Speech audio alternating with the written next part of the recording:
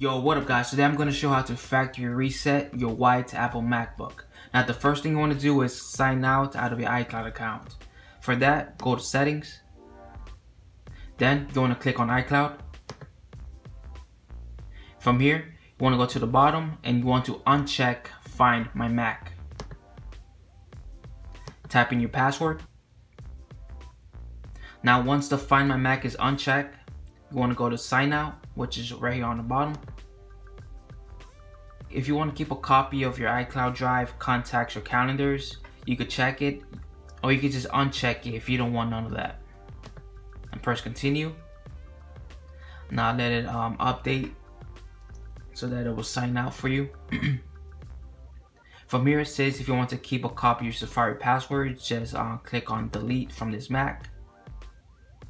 Okay, when it brings you to this screen, that means it's finished. From here, you want to exit out. Okay, from here, you want to go to the top left corner, click on the Apple. Now, you want to click on restart. When you click restart, as soon as you see the white screen, you want to press on R and the command key at the same exact time. So let's start right now. Click on restart. Restart again. And as soon as you see the white screen, click on R and Command at the same exact time. And click it.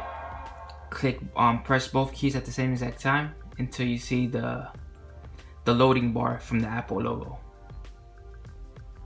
Okay, now you can let go. From here, you're gonna have to wait around, I'll say two minutes or so. Okay, so after two minutes, this screen will pop up. Now from here, you want to go to Disk Utility click on it.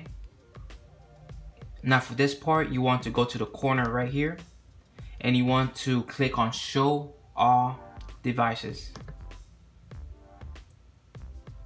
Okay, so under internal, you have this page right here.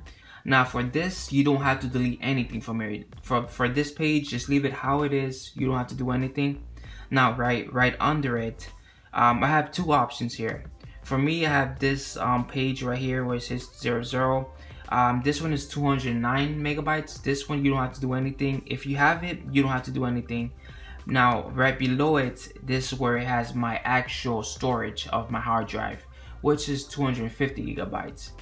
Uh, now, this page, you want to delete it. Um, so, you want to go to Erase. From here, you want to click on the option where it says Mac OS Extended Journal. Now you want to click on erase again. Now from here, just let it erase and um, all your data will be completely wiped off. Alright, now click on done. Now, after that has been finished, just want to exit out. Now, you want to click on reinstall macOS.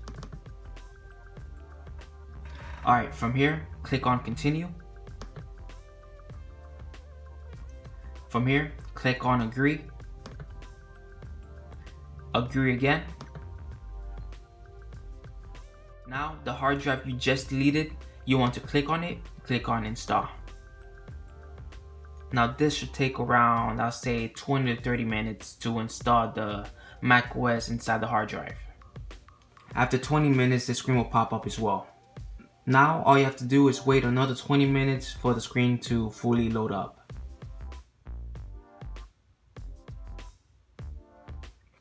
Okay, now after 30 to 45 minutes, um, this screen will pop up.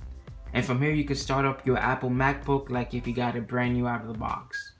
So guys, I hope this video helped. And if it did, uh, like and subscribe. And uh, I'll catch you guys on the next video. Peace out.